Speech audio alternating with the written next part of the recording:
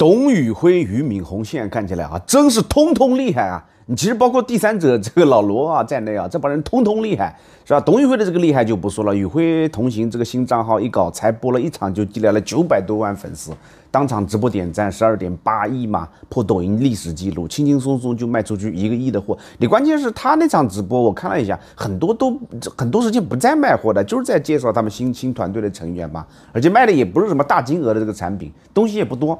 说搞出这个数据的话，确实不得了。如果说我们把这个人比作是商品的话，董宇辉就属于茅台嘛。现在在这个市面上就是绝对的硬通货，是吧？市场就认可他嘛。然后罗永浩的话呢，当然也厉害了。当初他就是隔空跟俞敏洪喊话，你要不服的话，你让董宇辉呢就单独开个号来跟东方甄选比一比，你看看东方甄选能不能打得过他。哎，结果前天咔一波的话，热度一度确实是把这个东方甄选给炒了。你问题是东方甄选都已经做了一年多了。啊，但是与会同行是个新账号，初出茅庐，是吧？所以说呢，这也逐渐老罗对整个行业的这个了解以及洞察依然是相当犀利、相当到位的嘛，对不对？你最后你你再想想看，前段时间还处在风口浪尖啊，但事后呢又顺手推舟主导这一切背后的这个人物俞敏洪，是不是？是不是也是很厉害？当初舆论股价那么汹涌啊！感觉都都快把这个俞敏洪啊、孙东旭啊、东方甄选整个给团灭了，但是结果呢？哎，好，这个董宇辉、俞敏洪两个人咔咔同台一直播，是吧？然后呢，这个给给董宇辉各式各样的这个头衔一加，薪水一涨，宇辉同行一开，是吧？危机完美处理过去了，声势又起来了，甚至比之前还更旺了呢。你最关键的是借这么一个机会搞了多轮的这个改革之后，可能还会让新东方日后的这个直播事业啊走出多样化，哎，走得更稳健了呢。你这就好比当初这个德云社啊，李菁、何云伟、曹云金这帮人，这先后出走，角儿都走了之后，给人感觉德云社快完了，是吧？但是那会儿呢，就老郭顶住压力，是吧？在内部做了这个收入分配上的这个改革，另外展开多点开花的这个 IP 培养战略，是吧？后面下饺子一样的推出了这个岳云鹏啊、张鹤伦啊、孟鹤堂啊、张云雷、秦霄贤这些人，哎，德云社不光没倒，现在看起来反而比之前更热闹了。只要你一个管事的人内功深厚啊，他就是有这个转危为机的这个能力的。哎，俞敏洪在转危为机这方面的话，向来是企业界大师一样的存在嘛。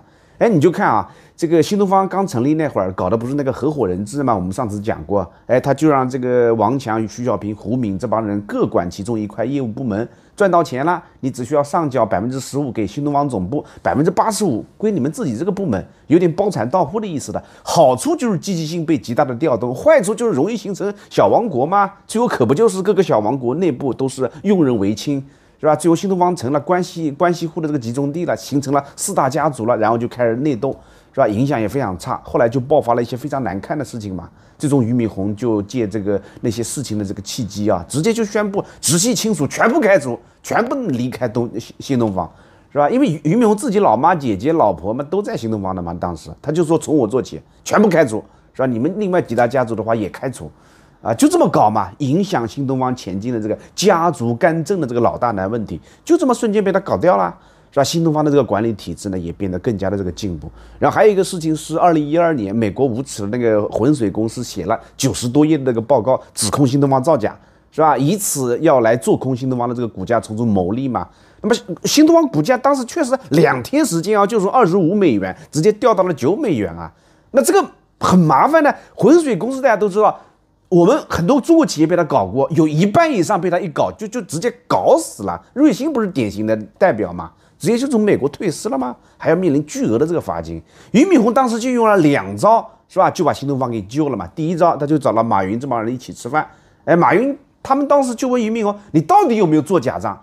是吧？”俞敏洪说：“这是我做人的底线，我绝对不会做假账。”啊，马云说：“那好了，来喝酒吧。”啊，然后接下来一帮中国企业家就纷纷买入新东方股票嘛，生生就把这个股票给它抬起来了。哎，给俞敏洪接受调查呢争取了时间。那另外一方面呢，在这个事情一开始的时候，新东方人心动荡啊，是吧？要是当时新东方老师纷纷都跳槽了，哪怕股价救回来了，新东方也元气大伤啊。那会儿俞敏洪就想出来一个天才般的这个想法，是吧？我趁这个股价低的时候，我直接给员工发股票，发了三年的这个股票。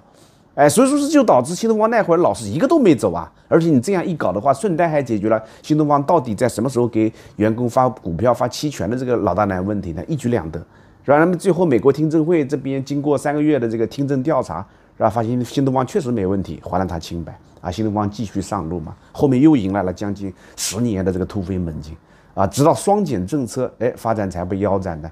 但是后来啪一做东方甄选，哎，新东方又活过来了。所以说，俞敏洪这个小老头啊，你能屹立不倒几十年，确实是有好几把刷子的这个人。